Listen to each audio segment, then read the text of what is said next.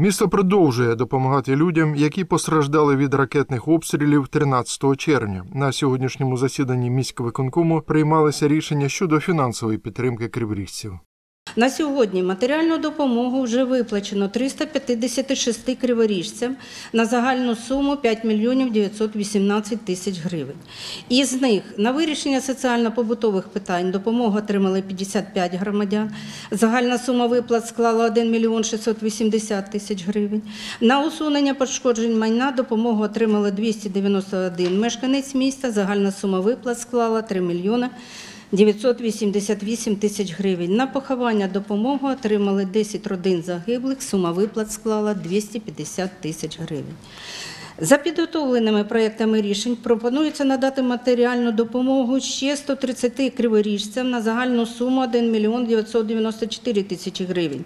Місто продовжує підтримувати учасників бойових дій і осіб, що отримали інвалідність внаслідок війни, а також родини загиблих військовослужбовців. Одноразову матеріальну допомогу отримують понад півтисячі учасників АТО ООС. З початку року її вже отримали більше як 2200 учасників бойових дій. Також одноразову допомогу пропонується надати 94 членам сімей військовослужбовців, які загинули або померли внаслідок поранення чи контузії, одержаних під час захисту батьківщини внаслідок військової агресії Російської Федерації проти України. Розмір допомоги на родину складає 100 тисяч гривень.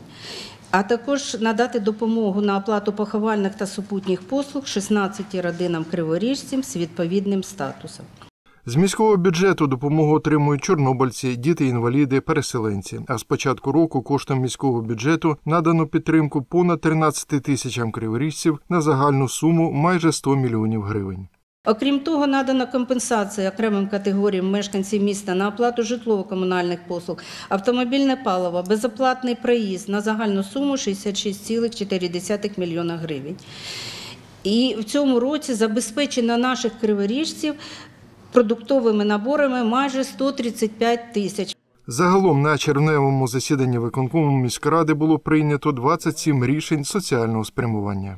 Місто постійно працює над тим, щоб допомогти всім мешканцям нашого міста, хто цього потребує. І військовим, і сім'ям, і дітям, і переселенцям. І ми це системно робимо. На кожному засіданні виконкому ми розглядаємо всі ці питання і дуже важливі рішення по підтримці цих цих категорій. І сьогодні ми виносимо на засідання виконкому. Валерій Кожухар, Олег Каплій. Цей день.